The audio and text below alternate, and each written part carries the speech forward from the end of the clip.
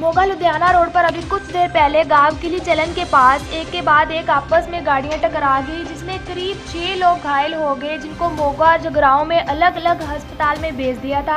हादसा अभी कुछ देर पहले का है, जब मोगा के अजीतवाल के पास धान से लड़ते तीन ट्रक एक के पीछे एक टकराए।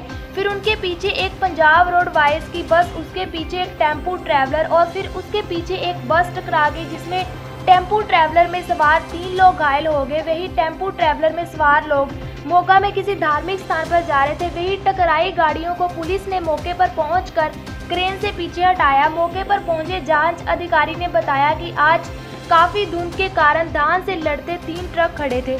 कि पीछे से आ रही पंजाब रोडवेज की बस और उसके पीछे टेम्पू ट्रैवलर और उसके पीछे फिर बस टकरा गए ਮੇਰਾ ਨਾਮ ਗੁਰਮਿੰਦਰ ਸਿੰਘ ਹੈ ਜੀ ਹਾਂਜੀ ਬਾਈ ਜੀ ਹਾਦਸਾ ਹੋਇਆ ਕਿਵੇਂ ਹਾਦਸਾ ਹੋਇਆ ਇਹ? ਆਸਾ ਹੈ ਜੀ ਮੈਂ ਪਿੱਛੋਂ ਆ ਰਿਹਾ ਜੀ ਗੱਡੀ ਵਾਲਾ ਇੱਥੇ ਖੜਾ ਜੀ ਉਹਨੇ ਐ ਗੱਡੀ ਮੋੜੀ ਹੈ ਉਹਦੀ ਗੱਡੀ ਪਲਟਣ ਦੀ ਖਾਤਰ ਉਹ ਵੀ ਆਪਣੀ ਮੇਰੀ ਗੱਡੀ ਨਾ ਪਲਟ ਜੀ ਉਹਨੇ ਬੈਕ ਕਰਤੀ ਮੇਰੀ ਗੱਡੀ ਦੇ ਵਿੱਚ ਆ ਕੇ ਗੱਡੀ ਮਾਰਤੀ ਹੈ ਜੀ ਹਾਂਜੀ ਤੇ ਉਹ ਗੱਡੀ ਕਿੱਥੇ ਆ ਭਾਜੀ ਹੁਣ ਉਹ ਗੱਡੀ ਉੱਥੇ ਠਾ ਲੱਗੀ ਹੋਈ ਆ ਸ਼ੈਲਰ ਦੇ ਵਿੱਚ ਖੜੀ ਆ ਜੀ ਪੁਲਿਸ ਵਾਲਿਆਂ ਨੇ ਸ਼ੈਲਰ ਦੇ ਵਿੱਚ ਲਵਾਈ ਹੈ ਕਿਹੜੇ ਚੈਨਲ ਤੇ ਲਵਾਈ ਹੈ ਜੀ?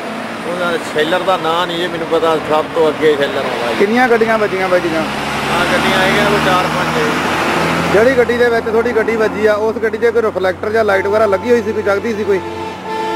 ਨਾ ਜੀ ਉਹਦਾ ਗੱਡੀ ਦਾ ਵੈਸੇ ਹੀ ਡਾਲਾ ਖੁੱਲਾ ਸੀ ਆ ਜੀ। ਅੱਜ ਉਹ ਪਿੰਡ ਕਿਰੀਜਲ ਤੋਂ ਥੋੜਾ ਤਿੰਨ ਚਾਰ ਕਿੱਲੇ ਅਗਲੇ ਪਾਸੇ ਇੱਕ ਐਕਸੀਡੈਂਟ ਹੋਇਆ। ਉਹਦੇ ਵਿੱਚੋਂ ਤਿੰਨ ਟਰੱਕ ਜਿਹੜੇ ਆ, ਉਹ ਅੰਮ੍ਰਿਤਸਰ ਸਾਈਡ ਤੋਂ ਆਏ ਹੈਗੇ ਆ। ਉਹ ਝੋਨੇ ਦੇ ਲੱਦੇ ਹੋਏ ਆ। ਉਹਨਾਂ ਨੇ ਜਿਹੜਾ ਉਹ ਸੱਜੇ ਪਾਸੇ ਨੂੰ ਆਪਣੇ ਮੁੜਨਾ ਸੀਗਾ, ਪਰ ਉਹਨਾਂ ਨੇ ਕੋਈ ਰਿਫਲੈਕਟਰ ਜਾਂ ਇੰਡੀਕੇਟਰ ਦਿੱਤੇ ਬਗੈਰ ਹੀ ਜਿਹੜਾ ਉਹ ਮੁੜ ਗਏ ਜੀ। ਧੁੰਦਰਾ ਕਾਰਨ ਕਰਕੇ ਮਗਰੋਂ ਇੱਕ ਪੰਜਾਬ ਰੋਡ ਦੀ ਬੱਸ ਆ ਰਹੀ ਸੀ। ਉਹ ਬੱਸ ਉਹਦੇ ਨਾਲ ਟਕਰਾ ਗਈ ਜੀ ਪਿਛਲੇ ਪਾਸੇ। ਉਸ ਬੱਸ ਦੇ ਮਗਰ ਇੱਕ ਹੋਰ ਟੈਂਪੂ ਡਰਾਈਵਰ ਗੱਡੀ ਆ ਰਹੀ ਸੀ। ਉਹ ਗੱਡੀ ਜਿਹੜੀ ਹੈਗੀ ਆ, ਉਸ ਬੱਸ ਦੇ ਪਿਛਲੇ ਪਾਸੇ ਅੱਧੀ ਦੱਸ ਗਈ।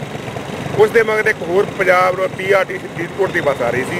ਉਹ ਗੱਡੀ ਵੀ ਜਿਹੜੀ ਹੈਗੀ ਹੈ ਟੈਂਪੂ ਟਰੈਕਸ ਦੇ ਮਗਰਲੇ ਪਾਸੇ ਲੱਗੀ। ਇਸ ਤਰ੍ਹਾਂ ਜਿਹੜਾ ਹੈਗਾ, ਦੋ ਤਿੰਨ ਗੱਡੀਆਂ ਦਾ ਜਿਹੜਾ ਉਹ ਨੁਕਸਾਨ ਹੋਇਆ, ਵਿੱਚ ਸਵਾਰੀਆਂ ਦੇ ਸੱਟਾਂ ਲੱਗੀਆਂ। ਟ੍ਰੈਫਿਕ ਜਿਹੜਾ ਹੈਗਾ, ਉਹ ਇਹ ਇੱਕ ਵਾਰੀ ਚਾਲੂ ਕਰ ਦਿੱਤਾ। ਬਾਕੀ ਜਿਹੜੀ ਆ, ਇਹਦਾ ਡੀਪਲੀ ਕਾਰਨ ਪਤਾ ਕਰਕੇ ਅਗਲੀ ਕਾਰਵਾਈ ਜਿਹੜੀ ਹੈਗੀ ਆ, ਉਹ ਮੋਗਾ ਸੇ ਹਰਪਾਲ ਸਿੰਘ, ਸਭ ਤੋਂ ਫਾਸਟ ਆਮਨੇ ਸਾਹਮਣੇ।